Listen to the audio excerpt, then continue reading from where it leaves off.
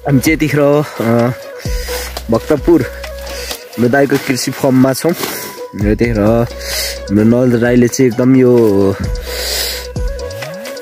फुल काउलीको चाहिँ अर्डर आएको हुनाले दस केजीदेखि बाह्र केजीसम्म चाहिँ झिकिदिने भन्ने अर्डर आएपछि अहिले यसरी उखेल्ने क्राम भइराखेको छ। यो ठुल्ठुलो रहेछ यो पनि उखेल उखेल बाबु। ल ल हेर्नुहोस् है। गाउँमा पार फोडेको मान्छे।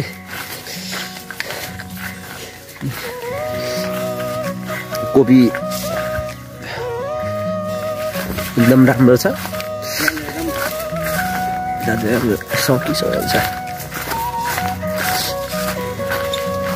ठुलै रहेछ है। दस केजी पुग्दैन एक केजी पुग्दैन।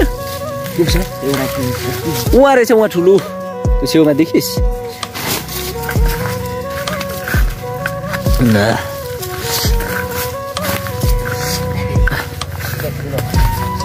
त्यो पाकिसकेको अब त्यत्रै हो त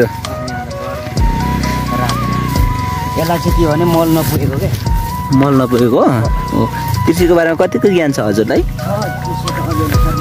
कस्तो अलिअलि छ पुरै हुनु थिएँ हजुर हजुर